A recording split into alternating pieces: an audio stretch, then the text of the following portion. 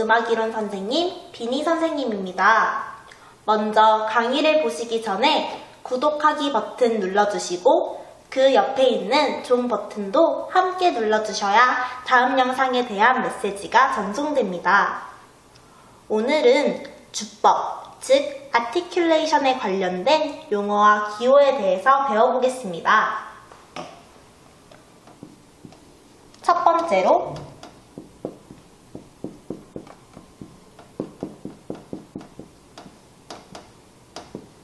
활표입니다.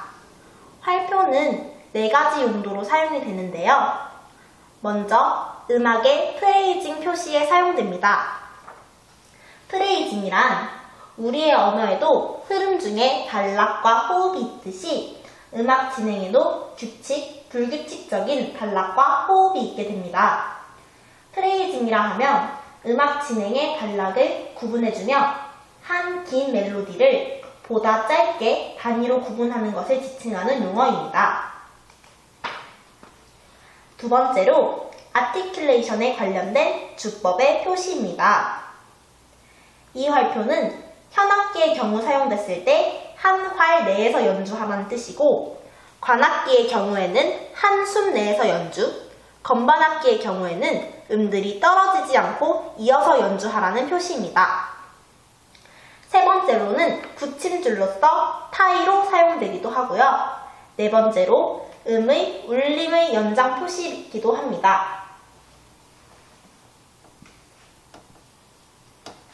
두 번째로는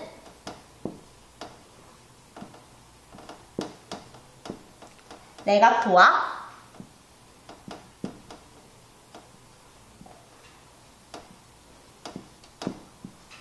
스타카토입니다. 레가토는 높이가 다른 두 음 이상의 음들을 잘 이어서 연주하는 주법이며 대상 음들을 활표로 표시하거나 레가토라는 말로 표시합니다. 스타카토는 레가토의 반대 주법으로 음을 끊어서 연주하며 스타카토에는 다음과 같은 종류가 있습니다.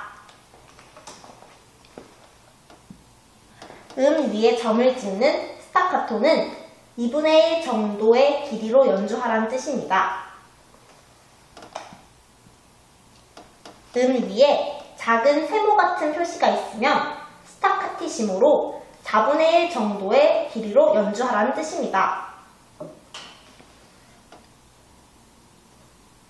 이렇게 음 위에 점과 함께 슬러 표시가 있으면 슬러 스타카토로 4분의 3 정도의 길이로 연주하라는 뜻입니다.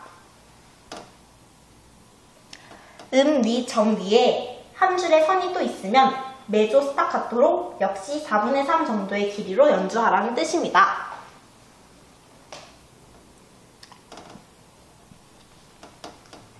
세 번째로는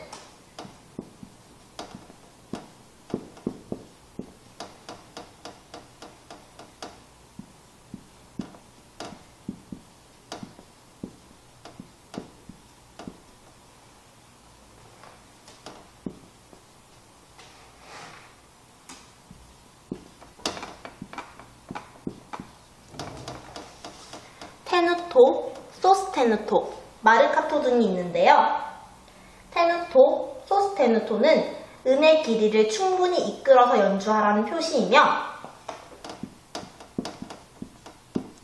이러한 약자나 이렇게 한 줄을 끄어서 표시를 하고는 합니다. 마르카토는 하나하나의 음을 똑똑히 강조해서 연주하라는 용어입니다. 네 번째로는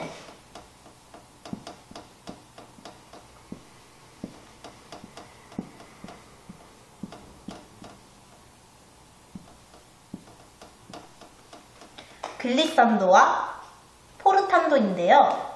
글리산도는 지정한 음 사이를 미끄러쥐듯이 연주하라는 용어이며 주로 피아노, 하프, 실로폰과 같이 음정이 고정된 악기에서 사용됩니다.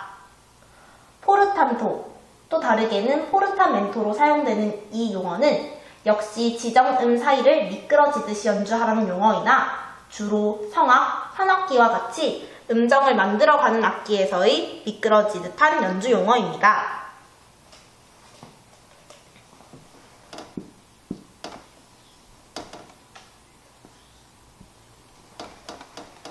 마지막 용어인 테르마타입니다. 페르마타는 여러 가지 사용법이 있는데요. 음 위에 놓여지면 느림표, 겹세로줄 위에 놓여지면 마침표, 세로줄 위에 놓여지면 일시적인 중단의 표시로 사용되기도 합니다. 오늘은 주법에 관련된 용어와 기호에 대해 알아보았습니다. 지금까지 색소폰 학교 음악이론 선생님 비니 선생님이었습니다. 감사합니다.